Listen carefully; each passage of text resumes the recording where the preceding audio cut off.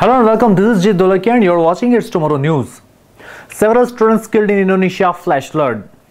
At least 8 students have been killed and 2 others are missing after a flash flood hit a high school group who were hiking along a river on Indonesia's main island of Java, a rescue official has said.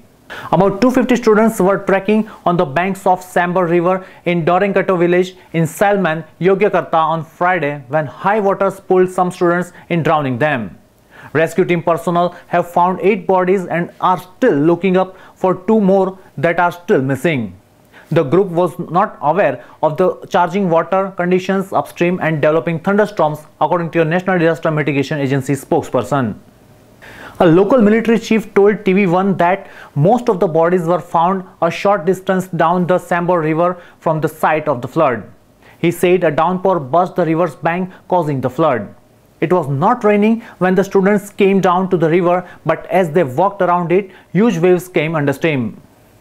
Rains cause frequent landslides and flash floods in Indonesia where millions of people live in mountainous areas or near floodplains.